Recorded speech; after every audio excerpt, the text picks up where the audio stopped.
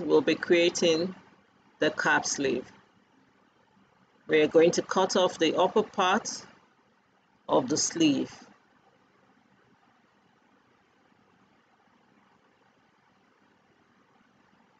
I'm going to take out the ease at the sleeve, the ease at the crown, which is about 3 8 of an inch on each side, and draw lines to take it out. So it looks like a small dot. So we'll cut it out right now.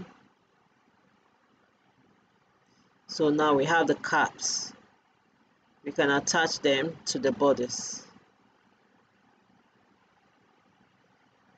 Make sure you mark your caps so that you know which one is front and back. I'm going to allow a little gap of 3 8 between the sleeve cap and the shoulder point so that it fits a little easily or at the shoulder. Not so um, tight. So that gives it a little room there. Just a little gap of 3 to an inch at the top.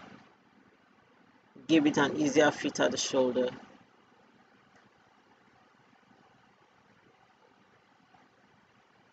now your cap sleeve is ready. It's a very simple process.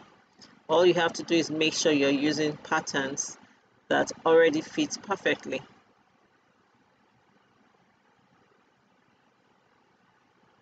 So for the front pattern, we also make the allowance of just 3 eighths of an inch. And then attach the sleeve cap.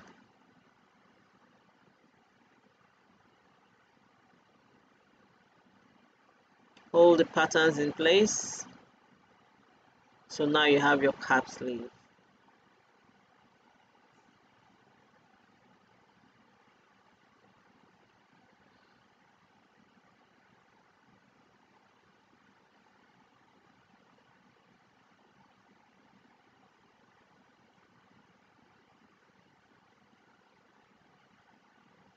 so I can now cut it cut out the excess paper so that you can see my pattern properly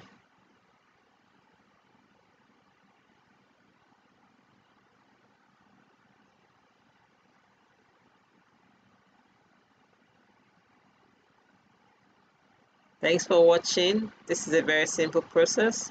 I'm sure you can repeat and achieve very good results.